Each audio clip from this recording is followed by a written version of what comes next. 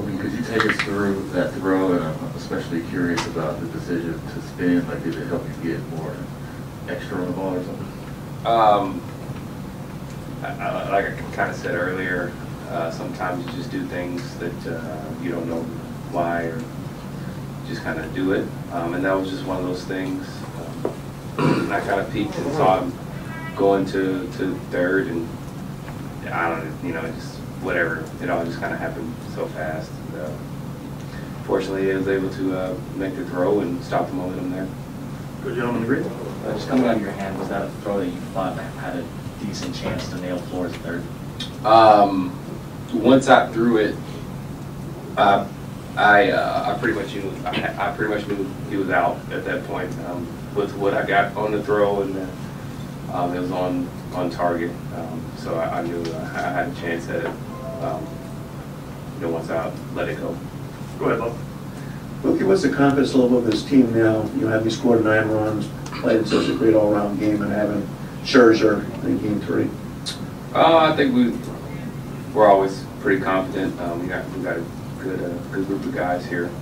Play the game hard, play the game the right way, and um, you know they have a good group of guys as well. And so it's it's uh, not going to be easy by any means, um, but you can't ask for a, a better uh, game three starter than Scherzer. And so uh, we just have to go and, and put up some runs behind him, and uh, hopefully he holds them off.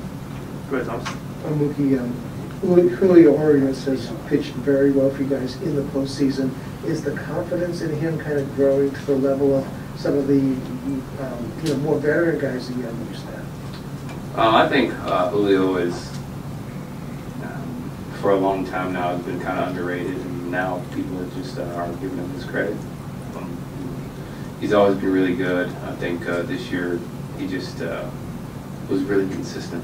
I think that's been the, the difference. And uh, obviously in the postseason, he's always been really good. But throughout the season, he, he's had his ups and he's had his ups and downs. Um, but this year, he just stayed consistent. Um, you know, one of our best arms, and you know, he proved it tonight.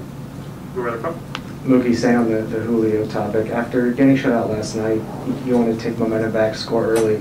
So when they walk AJ to get to Julio there in the second inning, you're in the on-deck circle, and Julio comes through with an RBI single. How much does that get you guys going, get the dugout going, uh, and kind of swing the momentum back to your side?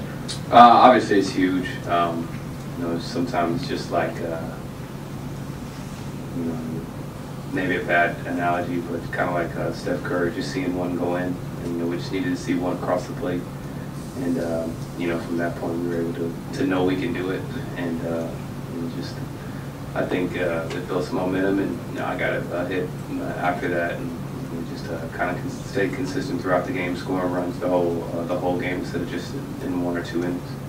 Stay in the front. you guys are obviously in the heat of battle with the Giants in these games, but not to use the word enjoy, but do you appreciate this kind of rivalry, these kinds of playoff games when you guys have two teams going at it with 107, 106 regular season wins? Yeah, I mean, uh, that's, uh, you know, it, it like, it is a, a heated battle, but it, like you said, it, it's also a lot of fun. I mean, it kind of reminds me of the, the Red Sox and the Yankees. You know, it's kind of similar to that, but only in the, in the National League. And, um, you know, it's uh, a great rivalry to be a part of, and I'm just thankful to be a part of it. Anything else for Mookie? Go ahead, sir. What goes through your head when you make one of those like, you know, crazy plays? And I know you're not on social media, but social media is going crazy. Everybody's talking about it. What, what's your reaction internally? Um, you know, I, I don't get too excited um, unless uh, I get uh, that's a lie. I do kind of get excited. uh, yeah, for that one, I, I didn't get uh, you know super excited. Um, it was just just big, uh, big to stop their momentum. I think it was uh, you know at the time it was just like uh, more of a breath of, uh, of fresh air or a sigh of relief just to get out of that inning there because they were they were building some momentum for sure. Don't you need like a Baxter version for outfield throws? Like, Yeah, I, I don't. That was uh, that that that was only in the bubble. We got to get to that, that point. To that point. All right, Mookie, thanks for your time, man.